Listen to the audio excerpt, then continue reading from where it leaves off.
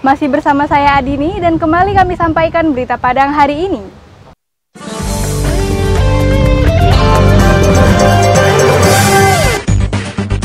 Ombudsman Sumatera Barat menduga adanya mal administrasi terkait permasalahan antara kolega almarhum Muhammad Khalif bayi berusia 6 bulan yang meninggal selasa pagi dengan pihak Rumah Sakit Umum M. Jamil Padang. Kasus ini sempat menghebohkan jagat dunia maya karena pihak rumah sakit mewajibkan keluarga pasien untuk menuntaskan biaya administrasi sebesar hampir 25 juta rupiah.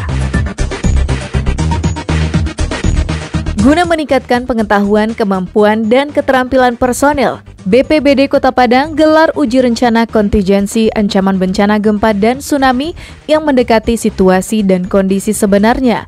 Latihan ini akan melibatkan seluruh unsur pelaku dan instansi terkait sesuai dengan bidang tugas masing-masing. Kuota bahan bakar minyak bersubsidi untuk Sumatera Barat untuk tahun 2019 ini sudah habis terpakai. Bahkan sudah ada tambahan 13 persen.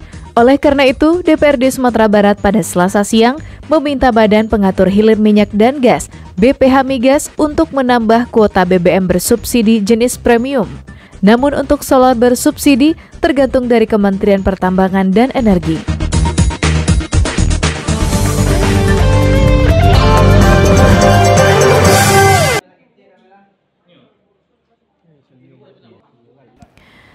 Dalam rekaman video amatir terlihat puluhan pengemudi ojek online yang merupakan kawan-kawan dari ayah almarhum Muhammad Khalif melarikan jenazah bayi yang berusia enam bulan itu dari Rumah Sakit Umum M. Jamil.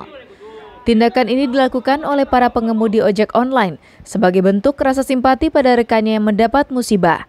Karena ayah Muhammad Khalif tak bisa menyediakan uang sejumlah hampir 25 juta rupiah dalam waktu yang cepat sebagai salah satu syarat yang ditetapkan oleh Rumah Sakit Umum M. Jamil agar bisa membawa pulang jenazah Muhammad Khalif. Terkait kasus tersebut, Ombudsman Sumatera Barat menduga telah terjadi kasus semua administrasi yang dilakukan oleh pihak RSUP Dr. M. Jamil sehingga jenazah Muhammad Khalif tertahan di kamar jenazah rumah sakit itu selama 4 jam lebih. Namun untuk membuktikan dugaan tersebut, Ombudsman akan melakukan investigasi dan mendengarkan keterangan dari keluarga almarhum, ojek online dan pihak RSUP. Ada potensi maladministrasi terjadi pada saat uh, apa uh, anak uh, apa penerima layanan uh, rumah sakit tersebut melakukan tindak lanjut dari uh, kejadian ini dan berharap uh, laporan yang akan disampaikan oleh masyarakat akan kita uh, respon dengan baik sehingga kita harus memastikan bahwa layanan publik rumah sakit terutama memberikan pelayanan yang prima pada masyarakat administrasi terjadi terutama dari berbagai media sosial yang kita lihat yang kita tonton bersama-sama. Sementara itu, RSUP Dr. M. Jamil membantah jika pihaknya mewajibkan orang tua Muhammad Khalif untuk membayar biaya administrasi sebesar hampir 25 juta rupiah. Rumah sakit terbesar di Sumatera Barat ini justru telah membebaskan pembiayaan Muhammad Khalif sejak yang bersangkutan dirawat. Pembiayaan selama M. Jamil sudah dibebaskan oleh M. Jamil.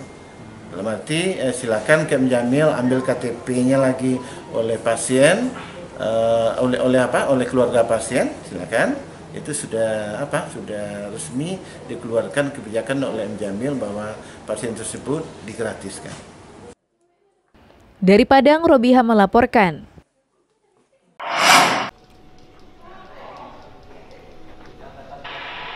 Untuk mematangkan kesiapsiagaan dalam menghadapi ancaman bencana gempa dan tsunami, BPBD Kota Padang menggelar uji rencana kontingensi bencana gempa dan tsunami pada Jumat siang di salah satu hotel di Kota Padang.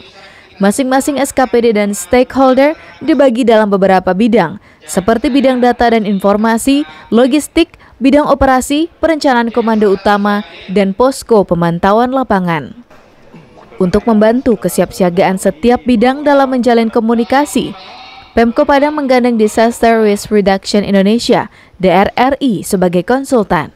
Simulasi ini sangat penting dilakukan mengingat wilayah Kota Padang yang berhadapan langsung dengan laut lepas.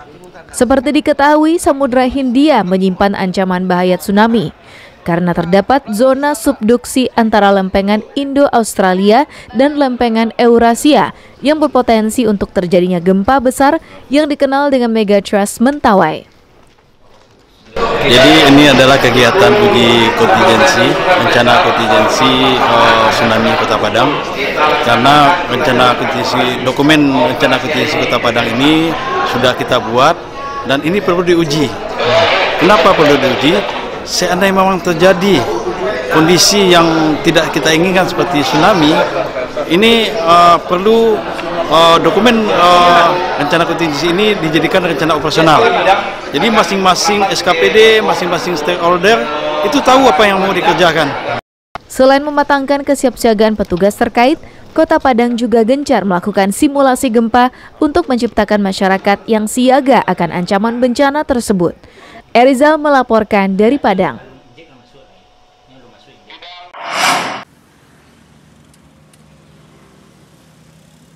Kuota BBM bersubsidi jenis premium dan biosolar untuk Sumatera Barat sudah habis terpakai sejak bulan Oktober 2019.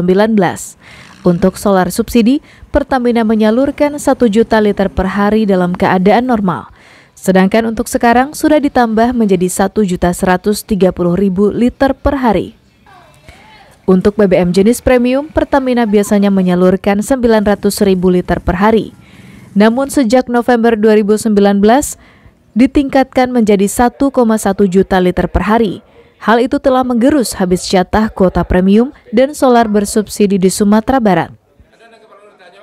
Ini tentu DPRD dan pemerintah daerah minta kepada BPA Migas dan Pertamina eh, agar keterjaminan ya BBM bersubsidi atau penugasan istilahnya baik itu solar ataupun eh, premium eh, sampai dengan tanggal 31 Desember itu dapat tersedia. tersedia di Provinsi Sumatera Barat. Untuk premium, premium, uh, premium kebetulan premium kuota menetapkan BPH Migas, hmm. kita akan evaluasi kuota, akan kita revisi kuota sesuai dengan prognosa kebutuhan sampai akhir Desember. Hmm. Makanya terima kasih kami sampaikan kepada pemerintah daerah dalam hal ini juga DPR di sini bersama pemerintah dan dinas pertambangan telah mengajukan tahun 2019 ini minta supaya premium sekian. Nanti kita akan akomodasi sehingga nanti tentu yang wajar ya yang wajar kita penuhi kuota premium kita robah untuk 2019 untuk premium tidak solar. Kalau solar itu udah case yang lain. Karena solar yang menetapkan kuota solar itu adalah pemerintah. Dalam hal ini Kementerian Energi. Menurut Ketua Komite Badan Pengatur Hilir Minyak dan Gas Bumi, pihaknya hanya menambah kuota untuk BBM subsidi jenis premium. Sedangkan untuk penambahan solar subsidi tergantung sepenuhnya keputusan pemerintah melalui Kementerian Pertambangan dan Energi. Laude Jordio Anse melaporkan dari Padang.